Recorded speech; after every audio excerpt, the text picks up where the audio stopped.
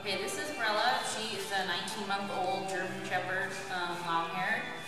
And before I brought her in, she was having some dog reactivity problems. Um, she would get distracted easily. She knew place, but she would never sit on place with another dog playing with a toy around her. So as you can see, she's she's doing great right now. Um,